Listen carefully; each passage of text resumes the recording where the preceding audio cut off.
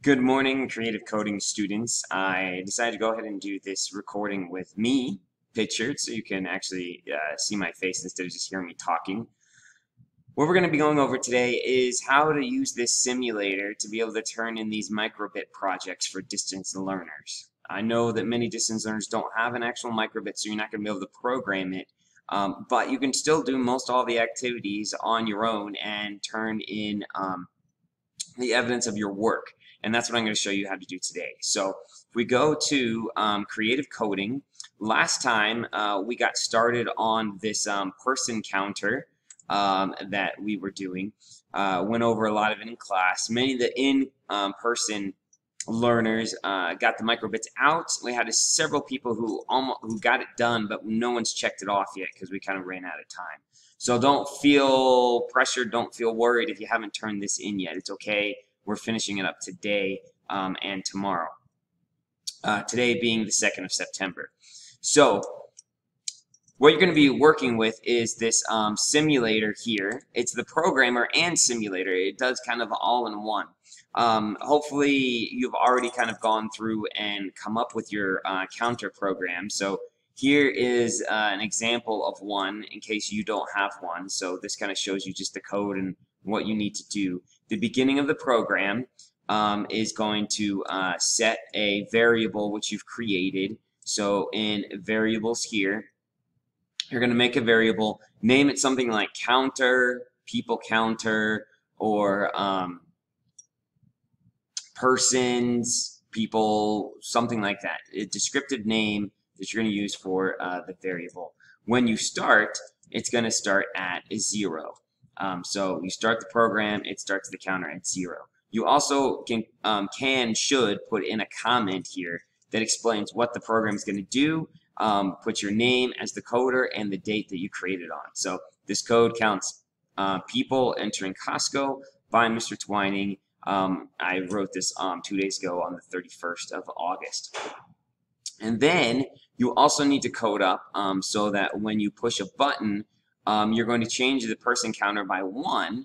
Um, so each time you press it, it's going to increase, and you're going to show uh, the number on the LEDs here. This, what I'm showing you is for the absolute minimum, just a three. Um, this is proficient. If you want a four, then what you're going to need to do is add some functionality to this. You need to make it so that um, Button B will reset back to zero, make it so that it displays a zero when the program first starts. You need to add some some other code in it to spice it up a little bit if you'd like to, to be able to get that four.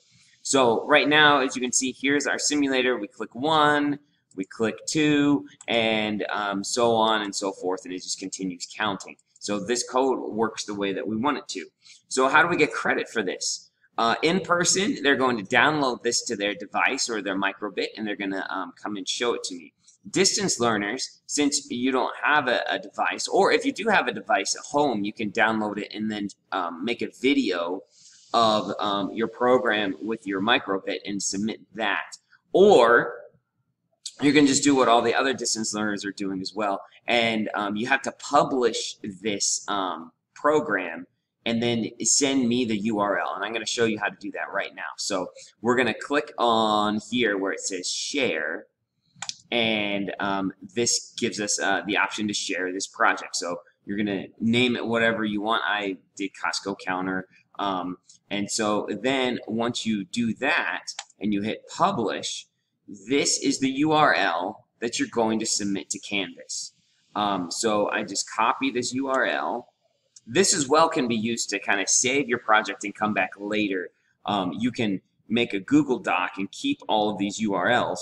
And then if you ever need to go back and edit or work on any of these things later, so you don't get it done today or you don't get it done in one setting, you can keep track of this URL and it will bring up your code so that you can edit it later. So I've copied this to my clipboard and then I'm going to go into Canvas and let me um, go to student view here. So you guys can see um, what it looks like for you. So uh, when I'm in uh, student view, I've got this person counter that is due um, yesterday. Um, so we're going to click submit and uh, we're just going to, you can put in the text entry if you want. I'd prefer you just put a website URL and then you just paste that code in there. Um, code. So Control V would do it and submit assignment. And there you have it. That's how you um, submit the code for that uh, the person counter. Uh, watch for future videos of either me showing you this code or I'm going to be posting videos of the class and instructions that you can be able to see if you really get lost and you're like, I don't know how to put the code together, I don't know what you're doing twining, um, watch the videos and I'll take you through step by step uh, to be able to complete these assignments and get them done and uh, turned in.